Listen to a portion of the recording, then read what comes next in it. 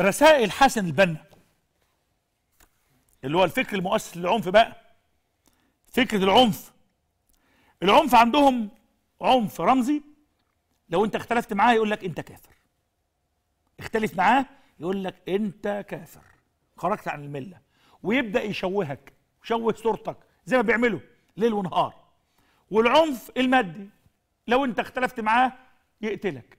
زي ما بيحصل. يقول لك إحنا عايزين نقتل فلان وفلان وفلان دول نخلص منهم. الحقونا ابو فلان وفلان. لما إحنا هنقوم بثورة هنجيب دول نعدمهم.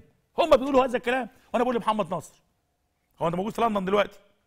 بقول لك أنت قلت قبل كده اقتلوا ضباط السيسي. قلت هذا الكلام ومسجل وبيترجم ولسه شغال دلوقتي بتحرض على قتل الضباط. دلوقتي وشغال وهيترفع عليك قضية في المحاكم البريطانية. هيترفع عليك قضية في المحاكم البريطانية ولن تفلت من العقاب على هذا التحريض الصريح على القتل والمبطن الآن في لندن. وكله شغال وبيترجم. نرجع لحسن البنا لما قال إنه الناس أمامنا أمام الإخوان واحد من أربعة. يا إما مؤمن بينا ومعانا يا إما متردد دول اجروا عليه حاولوا تحببوه في الدين وتحببوه فينا وتحببوه في الصحبة وحاولوا تعملوا له كل ما يمكن من عمليات إغراء. والنافعي ده اللي هو البرجماتي اللي عايز مصالح ده ما تسيبوهوش خليكوا وراه ادوا له حاجة. يا إما متحامل والمتحامل ده إحنا بينا وبينه المقصله وكل مسلم لا يؤمن بنا وبهذا المنهج لا حظ له في الإسلام. مين اللي قال هذا الكلام؟ حسن البنا قال كل مسلم كل مسلم مش كل كافر. قال كل كل مسلم لا يؤمن بهذا المنهج. منهج الإخوان لا حظ له في الإسلام. خرجونا من الملة. يبقى بالتالي حسن البنا آه، رسائله أصلا رسائل دموية والعنف عنده هو الأساس. حسن البنا بيقول بيقول إنه إحنا عندنا قوة العقيدة والإيمان قوة الوحدة والارتباط ثم بعدها قوة الساعد والسلاح. سيستخدم الإخوان القوة حين لا يجدي غيرها. سيستخدم الإخوان القوة حين لا يجدي غيرها. وحين يستكملون عدة الإيمان والعقيدة وعندما يستخدمون هذه القوة سيكونون شرفاء صرحاء ينذرون اولا ثم ينتظرون ثم يقدمون. ده كلام واضح يا جماعة. ده كلام في بنائهم أساسا. ونحن الآن نهيب بالكبراء والأعيان والهيئات أن ينضموا إلينا. ده إل وإلا. فحسن البنا اللي أسس الجماعة سنة 1928 كان بدأها وبفكركم وللتاريخ بمعونة من السفارة البريطانية ومن هيئة قناة السويس اللي كان بيديرها أوروبيين وعلاقة الإخوان بالاستخبارات الأجنبية ليست موضع جدل أو نقاش. عشان بس نبقى عارفين. وهذا ربما يفسر وجودهم في العاصمة البريطانية. وأنا سألت وبسأل وبقول يا جماعة يا جماعة ليه الناس دي رغم أنهم إرهابيون ووفقا للقانون المصري جماعة إرهابية ليه بتحتضنوهم؟ ده سؤال هيظل مفتوح إجابته عارفينها لكننا يعني نتساءل لأنه إحنا عارفين ومش كل ما يعرف يقال. تعالوا بقى شوف الإخوان واللي بيتكلموا مصدعينا والكلام ده لشباب الإخوان. الكلام اللي بقوله النهارده ده لشباب الإخوان كمان. علاقة الإخوان هتكلم عن نقطتين، علاقة الإخوان بالحركة الوطنية وليه الإخوان بيكرهوا الجيش؟ سؤال ليه الإخوان بيكرهوا الجيش؟ وهل هم بيكرهوا الجيش بجد عشان حاجة معينة ولا في لعبة؟ في مفاجأة دلوقتي. وعلاقة الإخوان بالحركة الوطنية. خليني أقول لكم إنه الإخوان كان بيتعاملوا على إنه مصر ولاية عثمانية. وبعد الدولة العثمانية ما سقطت وانتهت علاقتها بالخلافة. فهنا حاولت بعض القوى الاستعمارية تخلق كيان جديد يتبنى فكرة الخلافة.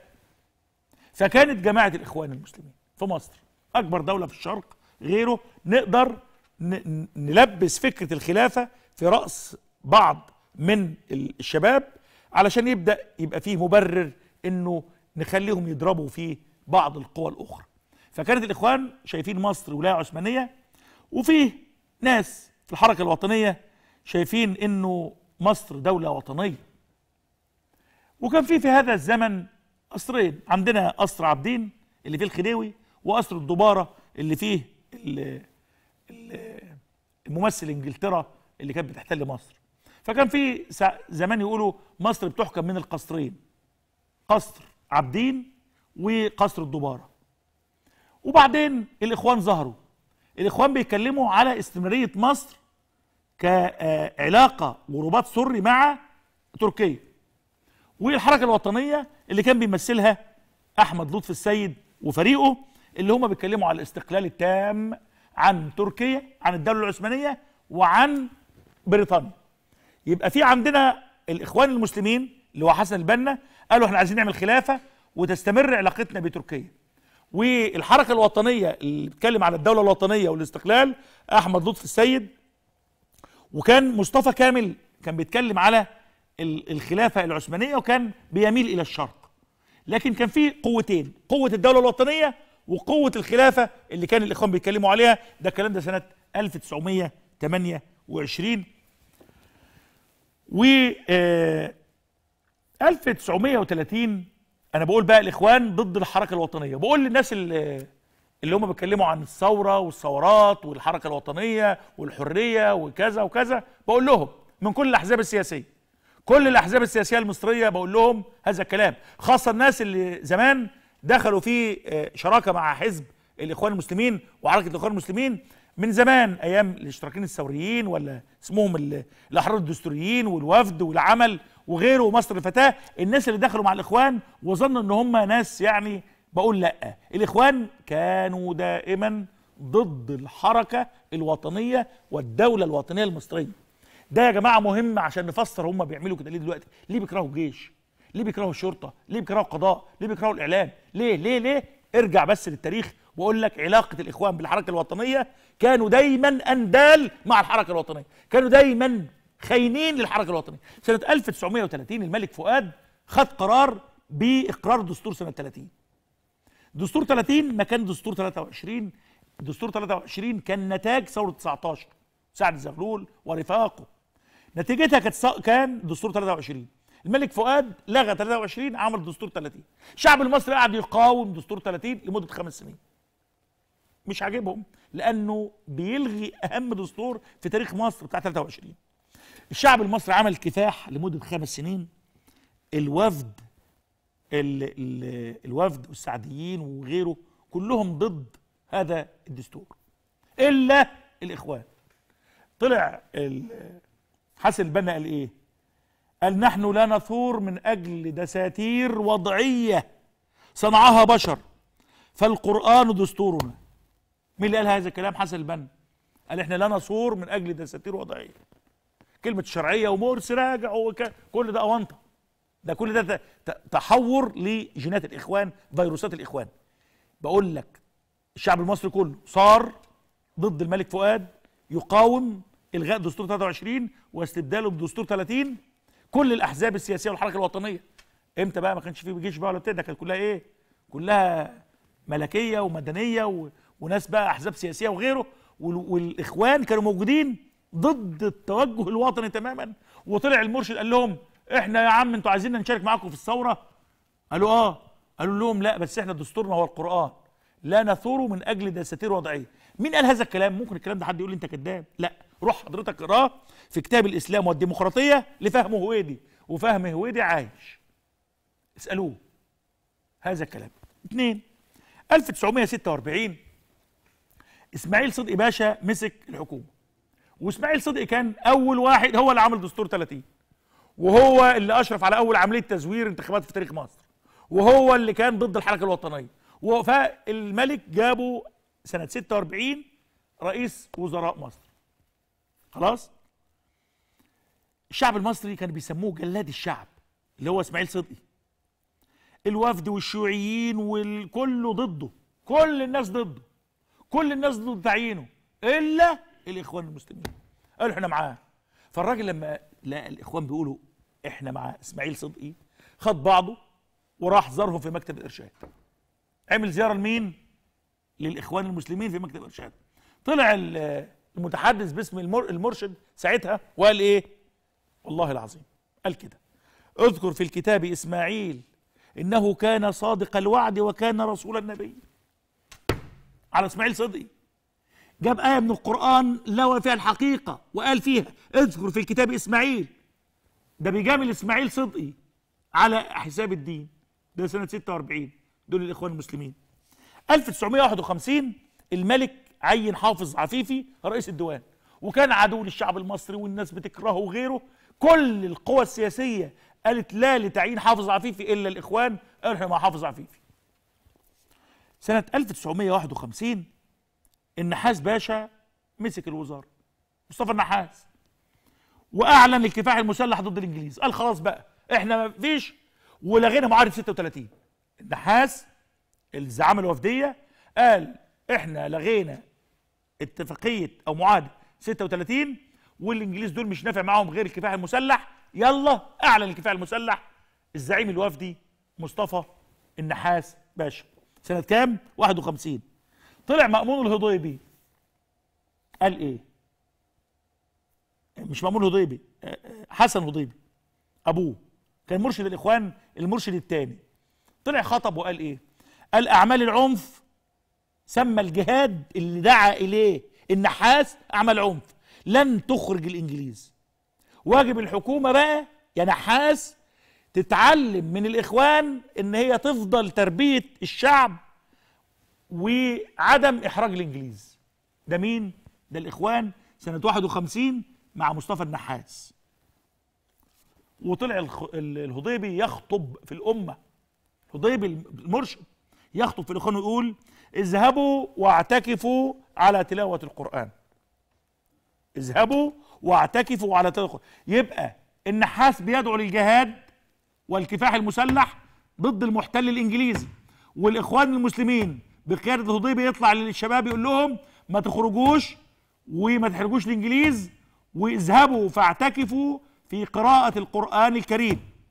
قام خالد محمد خالد المفكر الإسلامي الكبير اللي كان إخوان وسابهم كتب مقالة في روزا اليوسف.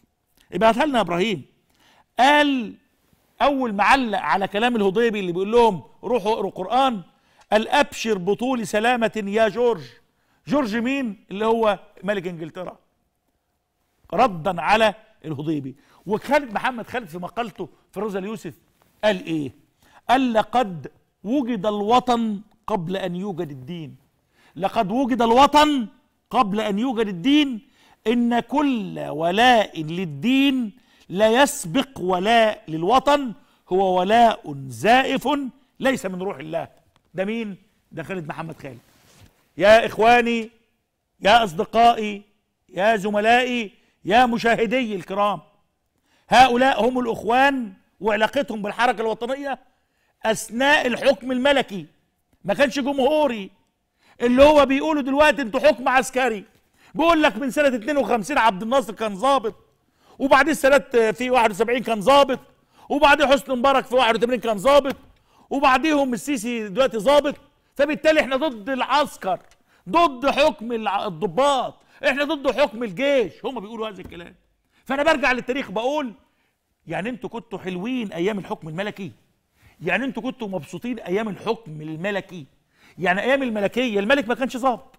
الملك ما كانش ظابط. هسلم يا سيدي بكلامكم إن أنتوا عندكم مبدأ وانتوا ضد الحكم لأي واحد كان أصله ظابط. رغم إن إيزنهاور ودي جول وغيره مش هخش في القصة دي بس أنا بقول على الإخوان المسلمين اللي بيقولوا إحنا ضد الحكم اللي استمر 60 سنة حكم الجيش. يا سيدي اعتبره حكم جيش ماشي. يعني أنت بتحب الحكم اللي هو مش جيش مش واحد مش خلفيته جيش؟ يقول لك آه. إيه علاقتك بقى بالحكم الملكي؟ طب الحكومات اللي كانت وفدية وسعدية ومش عارف مين ومين ومين كنت عامل معاهم إيه؟ أنت كنت في وسطهم في تداول سلطة كان تداول سلطة في آراء في آراء. في حكومات بتسقط في حكومات بتسقط. في ملك بي- بيحكم من بعيد وحكومات بتش... آه سعد زغلول ومصطفى النع الوفد كان ال... الإخوان كانوا بيعملوا إيه؟ في هذه الأجواء. اسمع مني. مش هم بيقولوا يا جماعة إن إحنا ضد الحكم من س... من عبد الناصر للسيسي علشان ده كان الناس كلهم ظباط. طب أنت قولوا لي كده اخباركم إيه مع الحكم اللي ما كانش ظباط؟ اخباركم كانت إيه؟ كنتوا هشمنا العسل كنتوا بتزرعوا مصر كنتوا بتقدموا لمصر القطن والورد وال... والإنجازات والياسمين كنتوا بتعملوا إيه لمصر؟ 1945 يا سادة يا كرام 1945 في أحمد ماهر باشا كان رئيس وزراء مصر. والراجل راح البرلمان مجلس النواب المصري أهو موجود في شارع القصر عين يقنع النواب بقرار هيتخذه آه، كرئيس وزراء بمشاركة مصر في الحرب العالمية. أحمد ماهر راح مجلس النواب يقول لهم يا نواب الشعب إحنا هنخش في التحالف مع بريطانيا ضد ألمانيا علشان ناخد استقلالنا واداهم مبررات. مجلس النواب وافق. قال تمام. خد بعضه ومشي من مجلس النواب لمجلس الشيوخ عشان يعرض نفس الفكرة على مجلس الشيوخ حياه حياة سياسية اهي حياة سياسية وفيها فيها حكومة وفيها حكومات بتسقط وفيها انتخابات وفيها وفيها حياة اللي هم بيقولوا عايزينها دلوقتي. والراجل ماشي طالع من مجلس النواب راح مجلس الشيوخ طلع واحد اسمه محمود العيسوي راح ضربه بالنار. محمود العيسوي ده إيه؟ كادر من كوادر الإخوان. قال إنه إحنا عندنا توجيه بعد ما اتقبض عليه إن إحنا نقتل أحمد ماهر باشا لأنه تسبب في سقوط حسن البنا في الانتخابات في الإسماعيلية وإنه هيخلي مصر تخش الحرب ضد ألمانيا وإحنا ضد هذا الكلام فلم يكن هناك صوت إلا صوت الرصاص. هذا الكلام اللي أنا بقوله ده يا جماعة ممكن يبقى كذب. روحوا قروه في آه آه كتاب بقايا الذكريات لأحمد حسن البقوري. أهو قدام حضراتكم. هات يا إبراهيم لو سمحت. يا إبراهيم خليك معايا لو سمحت. أهو أهو. كتاب بقايا بقايا ذكريات لأحمد حسن البقوري أهو. روحوا هاتوا الكتاب ده قروه بقايا ذكريات. لأحمد حسن البقوري اللي كان كادر إخواني ذكر هذه الواقعة بالتفصيل. اغتيال أحمد ماهر باشا رئيس وزراء مصر 1945 على إيد الإخوان المسلمين بكادر إخواني اسمه محمود العيسوي نظرا لقراره بمشاركة مصر في الحرب العالمية الثانية. ده كان 46 لا كان في عبد الناصر ولا في السادات ولا في مبارك ولا في السيسي. كانوا ناس ملك ملك. وحكومات بتروح وبتيجي في انتخابات. وفد وسعديين واشتراكيين طيب. 1946 يوم 3 12 1946 التنظيم تنظيم الإخوان قام بتفجير كل أقسام الشرطة البوليس ساعتها اسمه البوليس في القاهرة في توقيت واحد. في توقيت واحد. سنة كام؟ 1900 ارجعوا قولوا التاريخ يا جماعة. أنتوا ما بتقولوش تاريخ ليه؟ 1946 تنظيم الإخوان خد قرار والكوادر بتوعه بتوع الجواله والتنظيم السري. كل أقسام البوليس في القاهرة تم آه تفجيرها بقنابل في وقت واحد. الكلام ده بتاعي. روحوا قروه في كتاب الإخواني محمود الصباغ حقيقة التنظيم الخاص. هات يا إبراهيم لو سمحت. أهو. حقيقة التنظيم الخاص. مين اللي كاتبه؟ محمود الصباغ كل أقسام البوليس فجروها في وقت واحد. إمتى يا جماعة الكلام ده؟ لا كان في جيش كان في عسكر زي ما بيقولوا ولا كان في عبد الناصر ولا كان في غيره. سنة كام؟ 1946 هقول لك إحنا عايزين نخلص من حكم 60 سنة جاسم على صدورنا. طب وأنت قبل ال 60 سنة كنت بتعمل إيه؟ قتلت رئيس الوزراء فجرت اقسام الشرطة.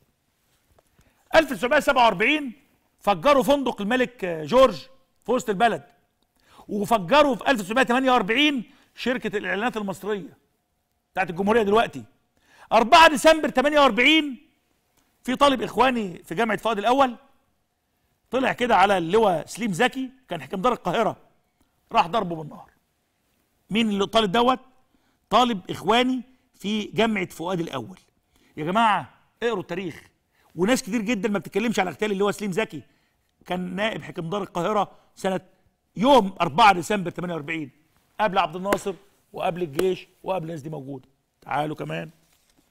يوم 22 مارس 1948 كان المستشار أحمد الخازندار ده كان وكيل محكمة استئناف القاهرة. كان هذا الرجل مطلع أحكام ضد بعض أعضاء الإخوان. مش عاجبهم حكم القضاء. ده زمان. سنة كام؟ سنة 48 قبل ثورة 52 بأربع سنين. قبل الجيش. قبل وجود عبد الناصر. طلع ال ال الجماعة بتوع الإخوان آه على أحمد الخزندار ضربوا بالنار.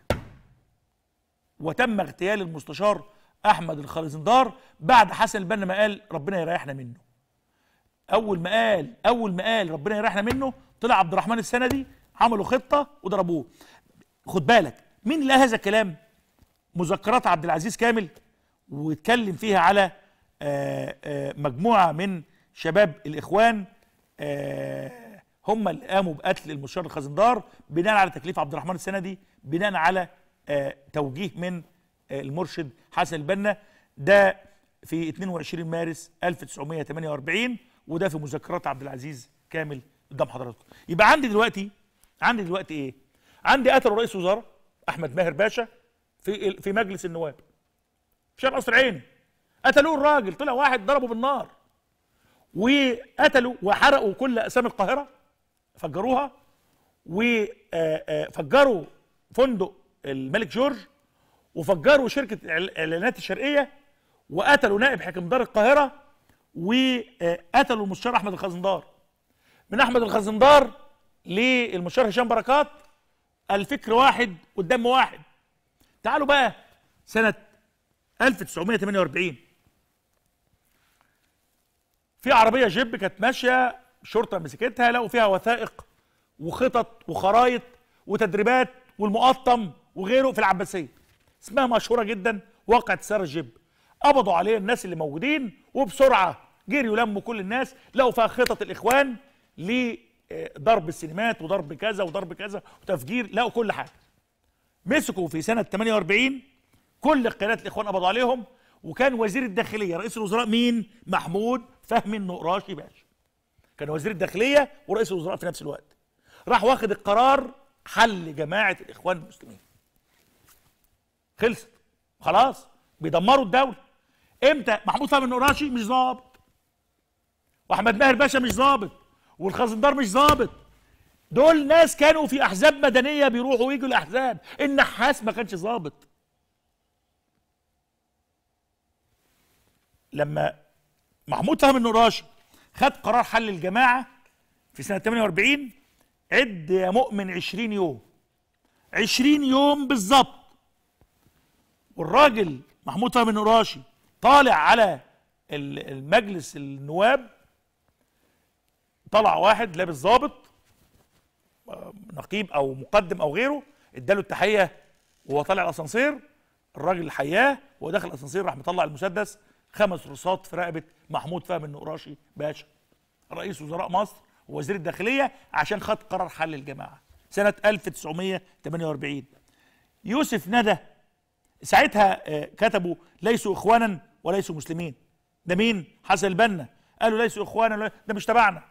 يوسف ندى في كتابه من داخل الإخوان. هاتوا إبراهيم. من من داخل الإخوان. يوسف ندى موجود عين يرزق. أهو من داخل الإخوان المسلمين يوسف ندى هو اللي ذكر حكاية مقتل مين؟ محمود فهمي النقراشي على إيد مين؟ عبد المجيد أحمد حسن. قتلوا النقراشي باشا. وشوهوا سمعته وقال لك فتح كوبري عباس على الناس وضرب الناس بالنار. وشوهوا هم أساتذة التشويه. هم من قتلوا اتنين من رؤساء وزراء مصر أحمد ماهر باشا ومحمود فهمي النقراشي باشا. وقتلوا أحمد الخازندار وقتلوا حكم دار القاهرة. في يوم 5 مايو 49 بقى في السنة التالية لاغتيال النقراشي إبراهيم باشا عبد الهادي كان رئيس وزراء مصر. ساكن في المعادي وبيجي القصر العيني بيجي مكتبه في مجلس الوزارة وأثناء حركته من عملوا أجروا شقة في شارع القصر العيني لمجموعة من الشباب الإخوان ويستهدفوا سيارة إبراهيم عبد الهادي وهو معدي في شارع القصرين لأجل النصيب إنه الراجل اتأخر أو ما راحش أو السواق بتاعه كان ماشي ضربوا السواق جري ولم يتم آه، اغتيال إبراهيم باشا عبد الهادي ودي ذكرها مين؟ عبد الرحمن الرافعي في كتابه في أعقاب الثورة المصرية. هاتوا إبراهيم لو سمحت. اللي بقوله ده قروه تاريخ. ده ده فعل الإخوان قبل عبد الناصر قبل ثورة 23 يوليو اللي بيقولوا حكم 60 70 سنة من الجيش ومن العسكر. طب أنتوا كنتوا أخباركم إيه مع الملك؟ اخباركم إيه بقى مع الدولة اللي أنتوا بتقولوا مدنية واحزاب وتداول سلطة؟ ما هو كان تداول سلطة. وكل يوم كان في حكومة وحكومات بتسقط في البرلمان وملك بيغير الحكومة وبيقيل حكومة. وسعد الزغلول مصطفى النحاس إبراهيم عبد الهادي آه، محمود فهمي النقراشي أحمد ماهر إسماعيل صدقي. كل الناس دي كنت شغالين معاهم. شياطين قتل وتخريب واغتيالات. هي دي الإخوان. انسى بقى من 23 ل 52 لغاية النهارده في شهر أكتوبر 26 أكتوبر 2022 يا عم إحنا وحشين والجيش والدنيا إحنا كده إنتوا قبل كده كنتوا إيه؟ هؤلاء هم الإخوان قبل وجود ثورة 23 يوليو 52 لمن لا يقرأ التاريخ ولمن لا يفهم التاريخ؟ بقول لهم ارجعوا الإخوان النهارده بيصدروا يقول لك إيه؟ إحنا عايزين نقضي على حكم العسكر وعايزين نقضي على... يا سيدي بالراحة. هو قريت الكلام ده يا محمد يا ناصر؟ ولا انت بتقرا بالمشقلب قريتوا الكلام ده معتز مطر ولا انت بتقرا ب- مش عايز اتكلم. قريتوا هذا الكلام عشان بس يقول لك حكم العسكر. عسكر. حذاء. حذاء.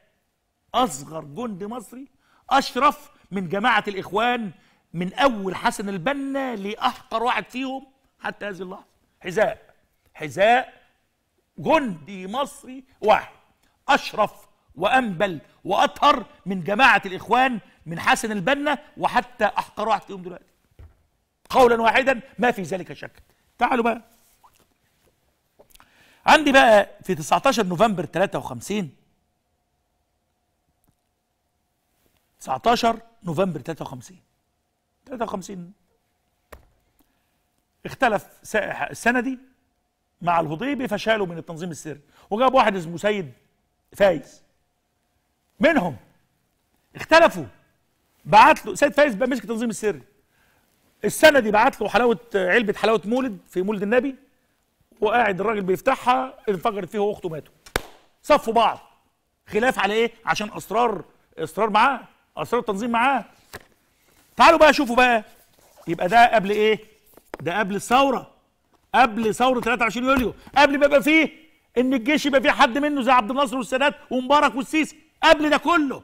قتلوا كل دول. فجروا كل الحاجات دي. خربوا كل دوت حريق القاهرة والسينمات واعلانات شركة الإعلانات الشرقية وفندق الملك جورج وأحمد ماهر باشا وأحمد الخزندار باشا وإبراهيم عبد الهادي باشا ومحمود فهمي النقراشي كل دي اغتيالات يا جماعة. وجه عبد الناصر تولى الحكم.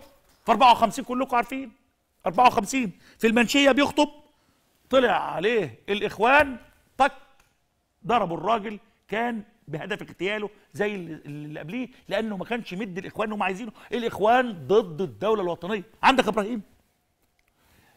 الإخوان ضد مش ضد الجيش ولا ضد الشرطه ولا ضد نشأت ولا ضد إبراهيم. الإخوان ضد الدولة المصرية. ضد الدولة الوطنية. أهو ومحاولة اغتيال عبد الناصر في المنشيه نحتفل معكم اليوم بعيد الجلاء وبعيد الحرية بعيد العزة وبعيد الكرامة.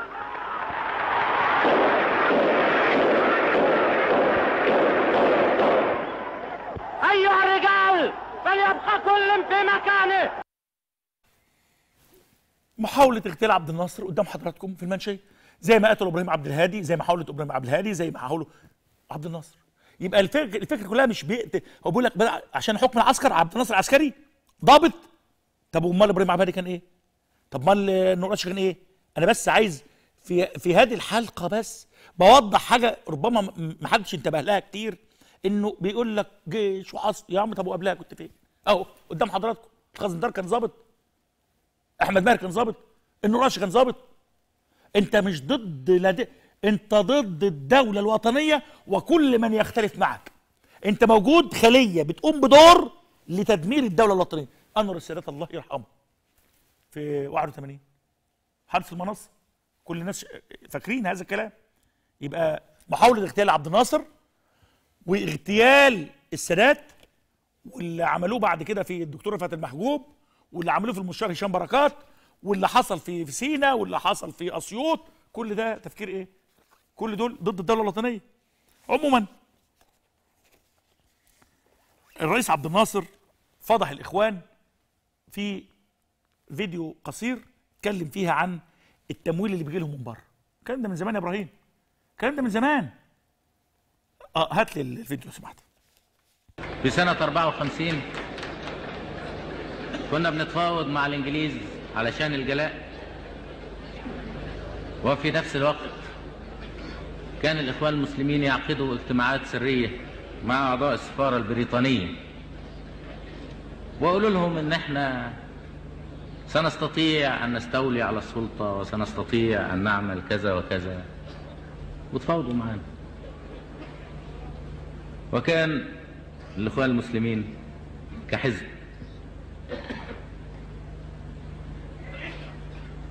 لا يمثل أبدا الشعور اللي بنشعر به في مصر. المرشد لحزب الإخوان المسلمين في هذا الوقت أيام ما كنا بنحارب في القناة سئل إيه موقفكم بالحرب في القناة؟ قال إحنا والله دعوة واسعة. أنتوا هنا في مصر قد تكون مصلحتكم إنكم تحاربوا في القناة وإحنا نرى إن المصلحة أن نحارب في بلد آخر.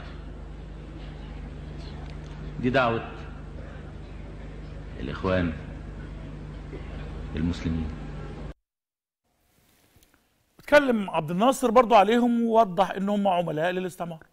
ناس بياخدوا تمويل اجنبي ضد مصر ضد الاستقلال. ولا اخوان ولا مسلمين. اسمه عبد الناصر. إحنا لا نستطيع أن نقامر بمكاسبنا اللي حققناها في ال 13 سنة اللي فاتت. ولا نستطيع ابدا أن نتهاون في مصيرنا أن نسلم أنفسنا لأعوان الاستعمار والرجعية مهما كان اسمهم ولو كان اسمهم إخوان مسلمين. إحنا كلنا نعرف إن الإسلام في هذا ليس إلا خديعة علشان يضحكوا بيها على عقول الناس وينضموا ليهم. أما هم لا هم مسلمين ولا هم إخوان. هم ناس حاقدين حاقدين الحقد يملأ قلوبهم ويملأ نفوسهم. قيادتهم الموجودة في الخارج تعاونوا مع حلف بغداد تعاونوا مع الدول الاستعمارية تعاونوا مع جميع أعدائنا وأثبتوا بالدليل الواضح إن حزب الإخوان المسلمين أو حركة الإخوان المسلمين ليست إلا حركة تعمل لحساب الاستعمار وحساب الرجعية. يمولها الاستعمار وتمولها الرجعية. ونحن حسب مبادئنا لن نسمح لأعوان الاستعمار ولا أعوان الرجعية أن يكون لهم أي مجال ولا أي نشاط بيننا لأننا بهذا نؤمن مستقبلنا ونؤمن النجاح اللي حصلنا عليه. نفس اللي بنعمله دلوقتي مع الإسلام السياسي ونفس كلام الرئيس عبد الفتاح السيسي قاله أول امبارح. أهو الرئيس عبد الناصر بيقولوا بقالنا كام سنة بيقولوا وبيقول إن دول أعوان الاستعمار بي وبيتمولوا مين من بره. وأنا بقول للرئيس عبد الناصر لو كان عايش دلوقتي شاف هم نفس الكلام. موجودين في لندن بيشتموا مصر. زي ما كانوا موجودين في قبرص بيشتموا عبد الناصر النهارده موجودين في لندن. وفي تركيا بيشتموا عبد الفتاح السيسي. نفس القصة نفس القصة. تعالوا نشوفوا السادات. قال عليهم إيه؟ لما عرض عليهم عبد الناصر يشاركوا في الثورة. الناس اللي الإخوان اللي مفكرينهم آه، حرية والناس اللي مصدقوهم أهو اسمع السادات. أنا عايز أقول لكم حاجة. للتاريخ. اتصلنا بالإخوان قبل قيام الثورة. كل الكلام ده أعلن واتكتب الثورة بقى لها 29 سنة. اتصلنا بالإخوان قبل قيام الثورة. وعبد الناصر شخصيا وطلب منهم الاشتراك في الثورة. وجبنوا وخافوا ورفضوا بقيادة الهضيبي.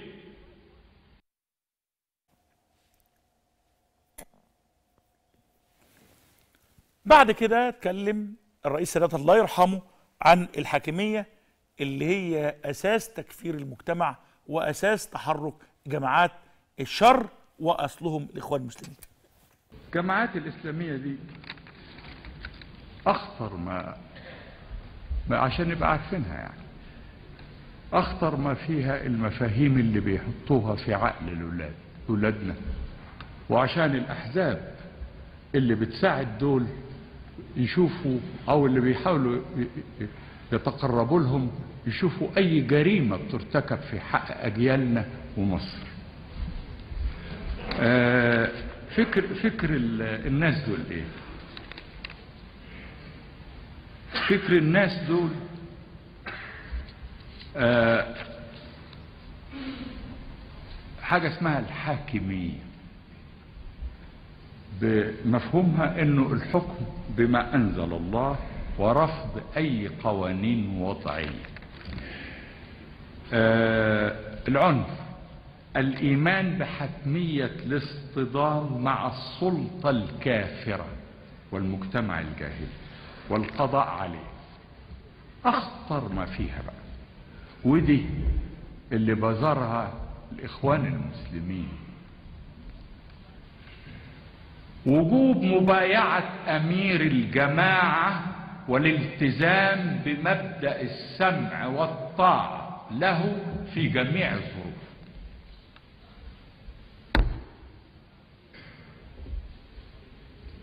يعني والله ما بيحتموا هذا لله سبحانه وتعالى.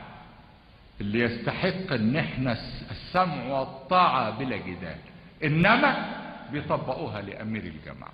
وبعدين عشان يفضل, يفضل بقى في الدايرة.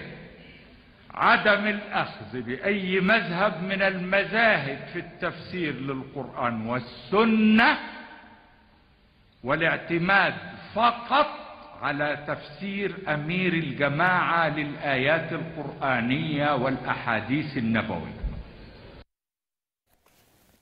اتكلم الرئيس السادات الله يرحمه عن فكر أو فقه أو طريقة التقية اللي بيتمتع بها الإخوان اللي هو يظهر عكس ما يبطن. اسمع الرئيس السادات لما جيت سنة سبعين طلعت جميع الإخوان من من السجن. اللي محكوم عليهم. أعدتهم إلى وظائفهم صرفوا لهم فرق الماهية اللي كانوا مسجونين فيه. أنا اعتقدت إن الموضوع خلاص اتصفى وانتهى. لا. شغل آه، آه، اللي يقولوا عليه التقية. بس التقية مش عندنا إحنا السنة المسلمين السنة. التقية مش عند السنة ابدا. إنه تتكلم بلسان واللي في قلبك حاجة تانية. ده رأي الرئيس السادات وده كان رئيس الرئيس عبد الناصر واستمعتم لرأي الرئيس السيسي أول امبارح. ده كلهم ناس من أبناء القوات المسلحة اللي آه، تبوأوا هذه ال ال هذا المكان وحكموا مصر. الرئيس السادات الله يرحمه اغتالوه. الرئيس عبد الناصر حاولوا يغتالوه. والرئيس السيسي دلوقتي تشويه وتشكيك وسباب وشتائم. بقول إنه الإخوان اللي موجودين دلوقتي اللي واحد قاعد هم بي- بيتغيروا ويتلونوا. اللي قاعد في أسبانيا عمال يتمرقع ويتكلم على الدولة المصرية ويسب ويلعن في الجيش وفي الرئيس وفينا وفي الإعلام وفي غيره. واللي قاعد في تركيا بيتسكع هناك في آه، على آه، في إسطنبول على شواطئ إسطنبول وبياخد فلوس الناس ويشتم في مصر. واللي قاعد في لندن عمال يتسكع أيضا وعمال يتمرقع وعمال يشتم ليل ونهار. الناس دي كلها مش شغالين عفوي.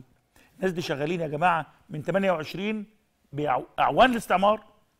وسمعتوا كلام من من 28 اغتيالات قتل تفجير تخريب لأن هم مش ضد حد مش ضد رئيس مش ضد السيسي ولا مبارك ولا ضد آه، عبد الناصر ولا ضد السادات ولا ضد أحمد ماهر ولا ضد النقراشي لا ضد الدولة الوطنية.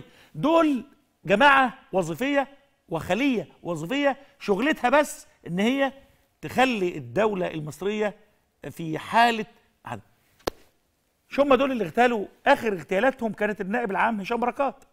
الله يرحمه. من هشام بركات لأحمد الخزندار نفس الفكر نفس الطريقة نفس ال- الغباء نفس الفساد في الأرض والإفساد في الأرض. هي لغة الدم اللغة الوحيدة التي يفهمها هؤلاء هي لغة الدم. بقول تاني بيحاول الإخوان المسلمين أن يطلوا بوجهه بوجوههم العكره العفنه الحقيرة مرة أخرى على المشهد من خلال مرة مصالحات مرة بيان مرة آه، مبادرة والانقسام الداخلي اللي بينهم توزيع أدوار واحد يقول لك السلام والمصالحة واحد يقول لك ال- الحكمة البالغة والتالت يقول لك الدم اللي هم المجموعة الجديدة. كل دي عبارة عن توزيع أدوار ومتحورات زي الفيروس. أنا بقول للمجتمع المصري مسؤول. الدولة المصرية لأول مرة بتواجه مواجهة ضارية. بقول تاني كانت مواجهة عبد الناصر فيها شوية اعتبارات لبعض الناس اللي بتدخلوا ومواجهة السادات للأسف الشديد في الآخر الرئيس السادات اداهم الفرصة ومواجهة مبارك كانت مواجهة مواجهة بليدة إلى حد ما للإخوان المسلمين. المواجهة الحقيقية في تاريخ مصر اتنين محمود فهمي النقراشي باشا وعبد الفتاح السيسي. دلوقتي مع حفظ الألقاب واحترامها بقول إنه الجماعة بتطل برأسها ضد الدولة الوطنية مش ضد الجيش بس. وأنا فضحت قدام حضراتكم دلوقتي بالوثائق والدلائل واقوالهم وكتبهم ومذكراتهم. مش ضد حكم الجيش أو ضد تدخل الجيش في الحكم أو ضد ان يكون في حد ذو خلفية عسكرية رئيس مصر لا. لأنه الدليل إن هم قتلوا كمان الناس اللي ما لهمش علاقة بالجيش ولم يكونوا يدخلوا الجيش زي أحمد ماهر والنقراشي وغيره وغيره. هذا ما تيسر قوله وده آه ال- الكلام اللي قلته كله حجة على كل من سمع وحجة على كل من تابع ويرجع ما ياخدش كلامي ويصدقه ويروح يقرأ الكلام جبت لكم كتب اقروا وشوفوا التاريخ. والناس السياسيين والأحزاب اقروا وشوفوا قبل ما حد يتكلم. أي حد يتعاون مع الإخوان يتواصل مع الإخوان يصدق الإخوان يردد ما يقول الإخوان فهو خائن للدولة الوطنية.